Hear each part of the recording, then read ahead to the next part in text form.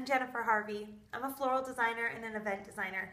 And I am here today to tell you about wonderful things you can do in your home like I do in this client's house. One of my clients have let us in and I'm going to show you around a little bit. We've had events here and lots of dinner parties and one of the most beautiful weddings I've ever done. We're going to show you some pictures. But first, I'd like to show you a centerpiece I just whipped up. This is for a dinner party that you may have. It's really simple to do and um, it's right here. So I went and got two dozen roses, some pomegranates, which is great for the season, um, some apples and grapes, and that's all. That's all that's in this arrangement. It took me about five minutes to whip up. So let's go outside and I'll show you what we did with the wedding up there.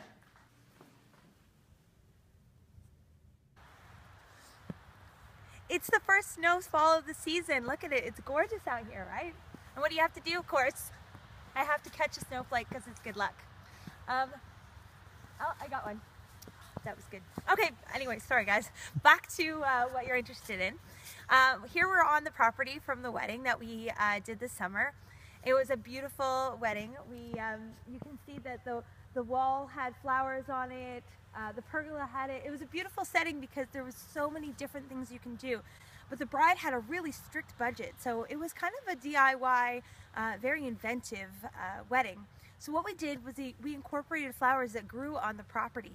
We um, took garden roses and beautiful green hydrangeas that had dried for the season and we put them in her bouquet. It also was wonderful because people brought things to incorporate like brooches and, and made memories with her to uh, extend her budget. The mayor even came. It was a pretty big deal in this small little community.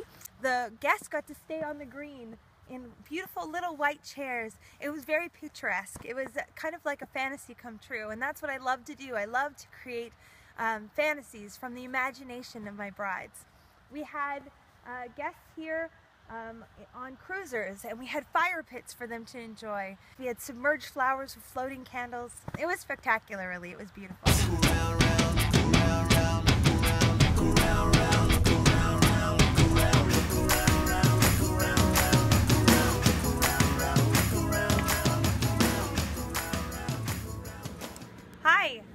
Another venue I brought you to. This is the Brockville Country Club. Look at this landscape It's gorgeous. And it's a great backdrop for any of the events that I've ever done uh, here. It's a beautiful place for weddings and in the winter you can't really use the greens but in the summer it's gorgeous. It's got uh, waterfalls on the property and, and it's a beautiful golf course. And inside, come on over here, uh, inside this is the grand ballroom and we do lots of weddings and uh, charity events. I just did a charity event here um, in November and we raised lots of money for our great foundation. The theme was 007, so we uplit it with red and, and there was red roses everywhere. It was, it was spectacular.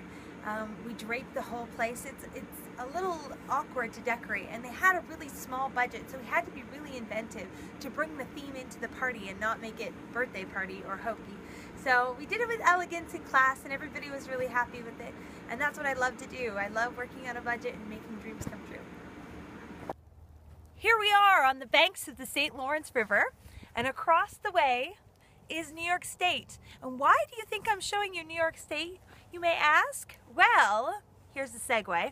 I worked in New York City with some of the greats in my industry, like Preston Bailey and Martha Stewart, and I've been able to design for people like Joan Rivers. We've done big weddings at the Empire State Building. I've done royal weddings.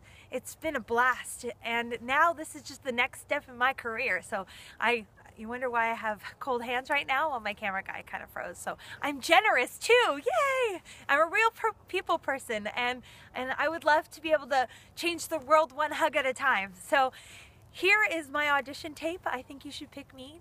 And I think that you will be delighted with um, my expertise in this field. Oh, and yeah, can I have my gloves back now? my hands are precious. These are my skills. Anyway, come on, give me my gloves back. Ah, give them to me.